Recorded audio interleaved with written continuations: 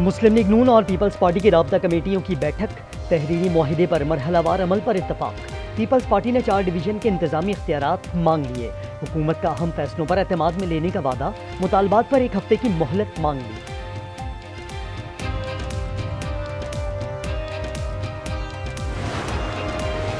इख्तलाफात हर जगह होते हैं। बिलावल और जरदारी की सियासत का रुख भी तो अलग अलग है। अली मोहम्मद खान की दबे लफ्ज़ों में बुशरा बीबी और अलीमा खान के अख्तलाफात की तस्दीक।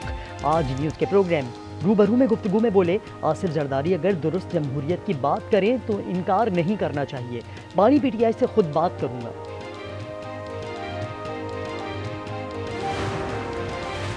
आज़ाद कश्मीर के इलाके पुलंदरी में रावलपिंडी से जाने वाली बस खाई में जा गिरी। चौबीस अफराद लुकमया जल बन गए।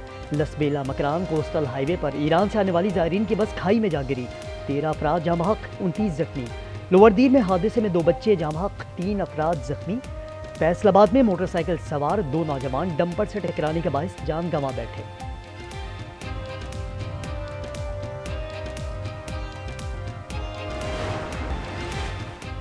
बाना ऑपरेशन में शहीद होने वाले पाक फौज के हवालदार मोहम्मद आसिफ की गुजरावाला में तदफीन।